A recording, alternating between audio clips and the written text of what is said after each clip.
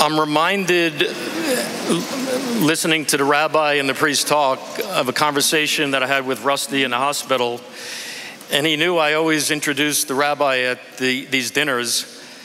And he said to me, Stevie, you got to make sure you have that hook. And I said, No, no, the rabbi always has an incredible message to impart. So, anyway, thank you, gentlemen, for your remarks. Okay, I need your attention because we've had a very successful dinner tonight, and I have to say a few words. I have to thank a lot of people, and I have to talk about my dear friend Rusty. So give me a few minutes. Since our organization was first founded, we have distributed over $150 million directly to the families of our fallen heroes, and that's with all of your support. This past week, we've helped approximately 600 families and distributed over $4.2 million. We have, could not have done this alone. I'd like to thank some incredible supporters. First, let me thank our honoree, Ed Schuyler. You cannot have a dinner like this without an incredible honoree.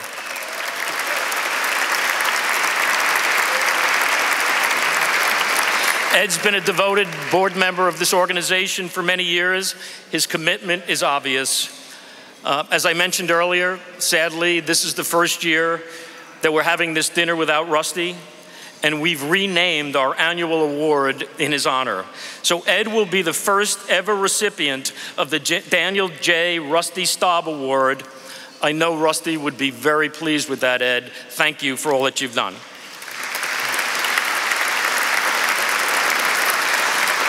I'd also have to say thank you to our entire board of directors and invite them to stand and take a bow.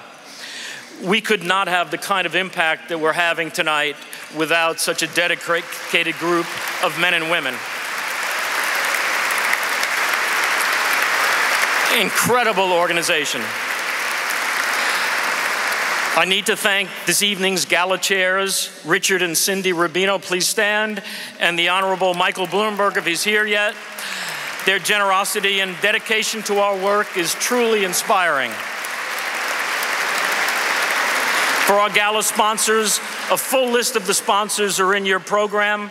But our top sponsors, I have to mention Citi, Bloomberg, Marsh, Palantir, Richard and Cindy Rubino, and Trilantic. Thank them all, please, on our behalf. We also need to thank our friends from Deutsche Bank for donating that space across the street that makes this such a magnificent evening. We also need to thank our first responders and the departments, the NYPD, FDNY, and PAPD, for all their support. They have provided so many things to us. Um, from the fire trucks outside and the ESU trucks to the volunteers to the once in a lifetime experience that you could participate in if you donate in one of our auctions. And we're honored to have department leadership with here, here with us tonight. Uh, Fire Department Commissioner Nigro, please stand. PAPD Superintendent Edward Cetnar, and NYPD Chief of Department Terrence Monahan. Ladies and gentlemen, give them and everyone that's working this room as a first responder and everyone in the street that's protecting us tonight a big round of applause.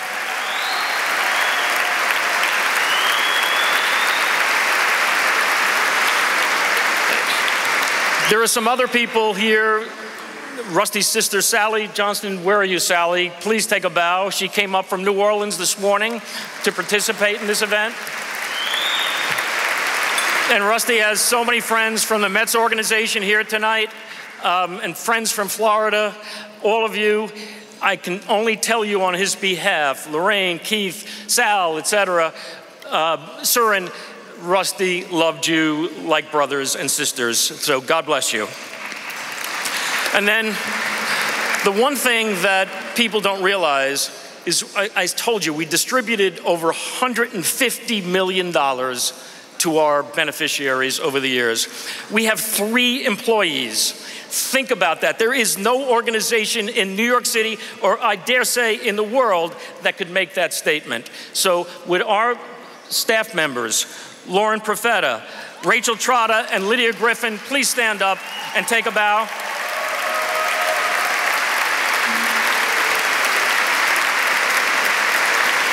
And I thank our, our junior committee and our volunteers because since we only have three employees, we need an incredible volunteer staff.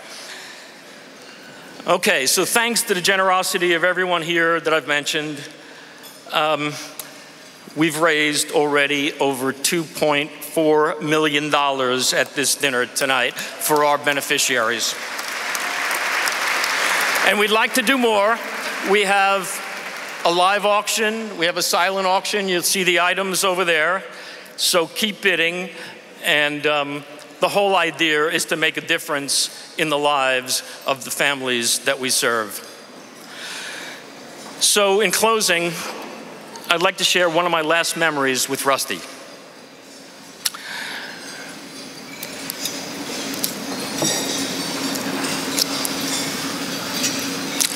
One, even, one evening in the hospital, Rusty had been struggling, but he suddenly perked up and he said to me, Stevie, I've loved you like a brother, and I'd like to talk with you about my foundation and our widows organization. Rusty then said, If I don't survive this, my foundation will cease because I was the driving force. As for the widows organization, I can't tell you how pleased I am to know how much good we've done for the widows, widowers, and children we've served. I never could have done this without you and our ever so loyal board of directors and supporters. If I pass, please make sure that our board, our supporters, and our beneficiaries understand that it was one of the highest honors of my life a life filled with extraordinary triumphs and blessings to create this organization. I have no doubt that the big guy, meaning our Father in heaven, will join me in making sure that the mission will continue. As many of you know, Rusty was a very religious and spiritual man. And then, in typical Rusty style, he said to me, Enough of that, Stevie. I feel like, like I could eat something better than this crappy hospital food. Do you think you could go pick up some of that great sole Francese at Trevini's and sneak it in here for me to eat? Which I did. So, ladies and gentlemen, I will follow, follow Rusty's wishes and thank you on his behalf. Board members, supporters, widows, widowers, and children of fallen first responders for all that you have done to permit us to distribute many millions of dollars during his lifetime to our magnificent beneficiaries. I know Rusty is with us tonight in spirit. He loved this event, as so many of you know. Would you please rise, say a prayer for Rusty, and give him a resounding round of applause that will ring to the heavens, be heard by him and his Lord, and bring a smile to his oh so familiar face. God bless you, Rusty.